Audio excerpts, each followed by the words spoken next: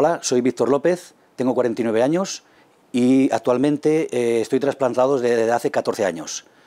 Eh, antes del trasplante estuve un año y medio en diálisis y este es mi segundo trasplante. El primero me duró 12 años y también estuve año y medio antes de, ese primer trasplante.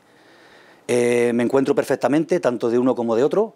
han sido una experiencia pues, de la noche al día, es decir, mi vida ha cambiado pues un 100%, ya que he podido realizar una vida completamente casi normal como cualquier otra persona. Siempre sin olvidar, eso sí, que somos enfermos crónicos y que tenemos que tener nuestras, nuestros cuidados, tanto personales, con medicación, eh, dietas, eh, durante el trasplante, los primeros meses, hay que controlar un poquitín el funcionamiento del mismo, entonces eh, los controles son pues a lo mejor cada mes, mes y medio, pero a medida que el trasplante se va estabilizando y va evolucionando, se estabiliza también la, la medicación, pues eh, se van alargando las pautas de la visita. Es decir, ya se pueden ser de cuatro meses, seis meses, incluso de un año.